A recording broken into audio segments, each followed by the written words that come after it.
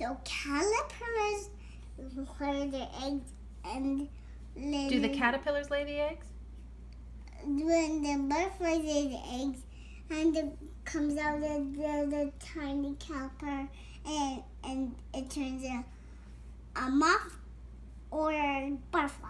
I see. So you have to show your phone. I'll show you in a minute. What are you painting? Caterpillar. Oh, yeah? My caterpillar is gonna grow any moment. He is. Yeah. And what does your caterpillar like to eat? Fruit. Oh, really? Oops. Don't worry about the mess.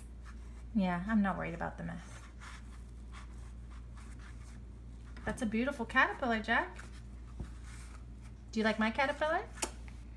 Um, it's super awesome, beautiful. Well, hey, thanks. I think yours is super awesome, beautiful too. It's super awesome, possum.